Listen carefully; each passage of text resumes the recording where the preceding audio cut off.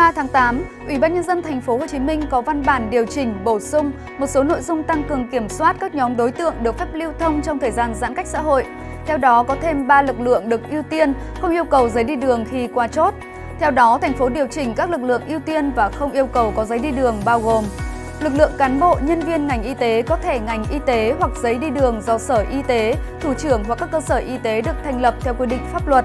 người dân đi tiêm vaccine có tin nhắn báo lịch tiêm hoặc giấy báo mời tiêm và kèm giấy chứng minh nhân dân hoặc căn cước công dân để trình cho chốt kiểm soát. Nhân viên hệ thống phân phối, siêu thị, cửa hàng tiện lợi, cửa hàng cung cấp lương thực thực phẩm có thẻ nhân viên và giấy xác nhận công tác của đơn vị. Đối tượng này chỉ áp dụng cho đến khi có giấy đi đường do Công an thành phố Hồ Chí Minh cấp. Ngoài ra, thành phố cũng bổ sung nhóm đối tượng được phép lưu thông, các trường hợp cao đẳng, trung cấp nghề nghiệp, mỗi trường 10 giấy do Sở Lao động Thương binh và Xã hội tổng hợp danh sách và báo số lượng về Công an thành phố mã 1A.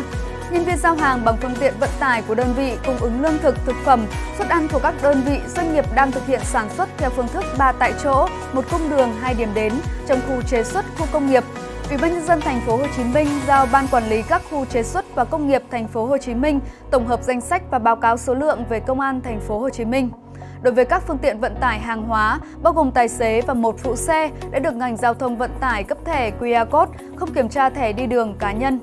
Công an thành phố Hồ Chí Minh là đơn vị in và ký cấp giấy hoặc ủy quyền cho PC08, công an địa phương các cấp ký cho toàn bộ các nhóm đối tượng trên. Ủy ban nhân dân thành phố Hồ Chí Minh đề nghị các sở, ngành, quận, huyện và các đơn vị có liên quan cung cấp số lượng và danh sách về công an thành phố Hồ Chí Minh. Khi chưa có giấy đi đường nêu trên của công an thành phố Hồ Chí Minh thì vẫn áp dụng các loại giấy đi đường đã quy định trước đây.